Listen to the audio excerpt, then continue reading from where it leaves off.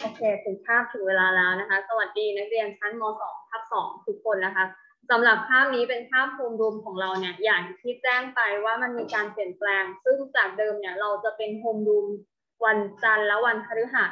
นะคะ เราจะเปลี่ยนมาเป็นวันจันทร์และวันพุธแทนซึ่งเวลาเนี่ยก็จะเป็นก่อนเข้าภาพก็คือ8นาฬิกาถึง8นาฬิกา10 นาที ใช้เวลาประมาณ 10 นาที นะคะสำหรับวันนี้เรื่องที่จะแจ้งเรื่องแรกเลย ก็คือจดหมายจากฝ่ายวิชาการสำหรับนักเรียนก่อนหน้านี้ค่ะปีการศึกษาตอนม .1 เนี่ยเราเคยได้จดหมายฉบับนี้ไปละ ที่มิส่งให้ส่วนตัวไป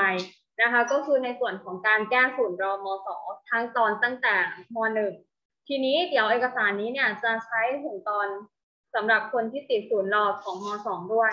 ใช้เพื่ออะไรนักเรียนจะเห็น QR code ด้านล่างตรงนี้ นะคะ บางคนอาจจะมีปัญหาในการไม่รู้จักครูประจำวิชา หรือติดต่อครูประจำวิชาไม่ได้นะคะ เพื่อเขาเรียกว่าเป็นการครอบคลุม ให้นักเรียนเข้ากลุ่มตัวนี้ที่มิส่งไปให้ อันนี้มิส่งไปให้อีกครั้งในไลน์แล้ว ให้นักเรียนเข้ากลุ่มของแต่ละวิชาที่เรามีการติดศูนย์รอนะคะ แล้วก็ไปติดต่องานจากคุณครูเขานะแล้วก็นัดส่งทีหนึ่งทีนี้ในการแก้หลายคนลงทะเบียนมาละ ซึ่งมันเป็นจำนวนเงินที่เยอะพอสมควรนะคะ อยากให้นักเรียนแก้ให้เสร็จ ยิ่งถ้าว่างตอนนี้ค่ะ มันยังไม่ถึงช่วงสอบเราพยายามตามเก็บไปเรื่อยๆ ให้เสร็จภายในเทอมนี้ อย่าพอกไปจนถึงม .2 จบไปแล้วก็ยังแก้ไม่เสร็จทั้งของม .1 ม .2 หรือรวมไปถึงม .3 ด้วยนะคะ เพราะฉะนั้นเดี๋ยวทยอยทำให้เสร็จนะคะ ส่วนใหญ่เนี่ยจะติดเป็นรอนะคะ แล้วก็อาจจะมีศูนย์บ้าง ถ้าติดรอเนี่ยเรายังมีโอกาสที่จะตามงานให้ครบแล้วได้เกรดอื่นๆนะคะ อันนี้ฝากไว้ ดังนั้นจากเทอมที่แล้วเนี่ยเรามีประสบการณ์ในการเรียนมาละ เราได้ผลการเรียนไปเป็นที่เรียบร้อยแล้วนะคะ เพราะฉะนั้นให้นักเรียนปรับปรุงอันไหนที่ควรจะปรับ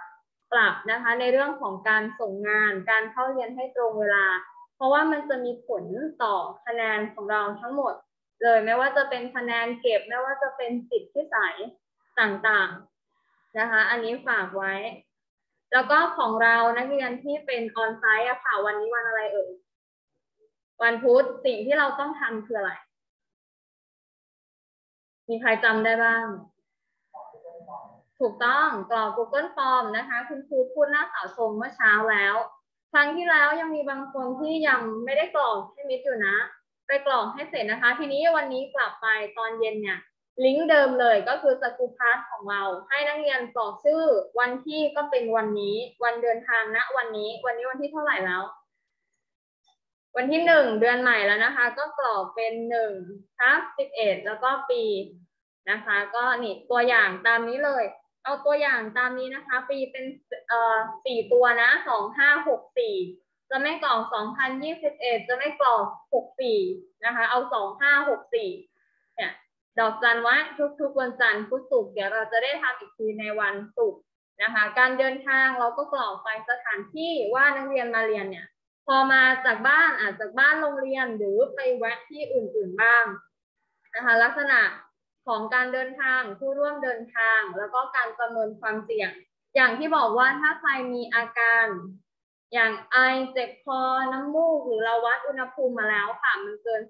37.5 องศา ให้รีบแจ้งมิดทันที อาการนี้จะเป็นอาการเบื้องต้น แต่ในนักเรียนในเด็กอายุน้อยๆ อย่างที่เขาบอกก็คือถ้าเกิดว่าติดมาเนี่ย ส่วนใหญ่จะไม่แสดงอาการ ถูกไหมหลายคนอาจจะมีประสบการณ์มาละในเรื่องนี้นะคะ พยายามสังเกตตัวเองให้เรียบร้อยนะ แล้วก็อันนี้เป็นการประเมินทั่วไป ทีนี้สำคัญในตัว ส่วนของผลตรวจ ATK ผลตรวจ ATK ตอนนี้ค่ะ เป็นวันพุธ เราได้ทำการตรวจมาแล้วในสัปดาห์ก่อนที่เราจะมาเรียน ตรงนี้นักเรียนต้องติ๊กช่องไหนเอ่ย ต้องติ๊กที่ไม่ได้ตรวจนะคะ มันไม่ได้ใช่ช่วงที่เราจะตรวจ เราก็ติ๊กไปไม่ได้ตรวจดังนั้นก็ไม่ต้องแนบรูปไปนะคะ เราจะไปติดเอ่อตรวจอีกทีในช่วงของวันที่ 10 ถึง 12 อีกครั้งหนึ่งนะคะ ตอนนั้นแหละนักเรียนค่อยติ๊กว่าได้ตรวจแล้วเป็นได้รับเชื้อหรือไม่ได้รับเชื้ออีกครั้งหนึ่งนะคะระยะเวลาก็ในส่วนของตามนี้เลยตามตารางที่ให้ไปนะคะ อันนี้ก็คือทั้งหมดทั้งสิ้นที่จะมาพูดในเรื่องของโฮมรูมวันนี้นะคะ ฝากไว้ตอนเย็นอย่าให้ Miss ตามนะว่าใครยังไม่ได้ส่งสกูพาร์ทบ้าง โอเคนะ อ่า โอเค เดี๋ยว Miss ปรางมารอแล้ว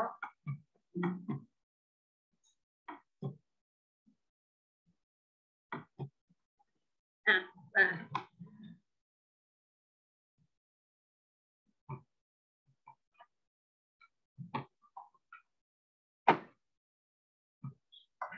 มิสปรางเชิญเลยค่ะ